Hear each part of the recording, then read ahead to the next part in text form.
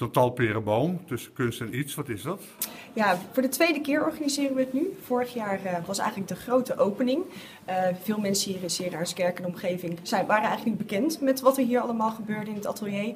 Dus wij dachten, wij gaan dit eens een keer openstellen voor het publiek. Nou, dat was zo goed bevallen dat, uh, dat we dachten, wij gaan het gewoon nog een keertje doen.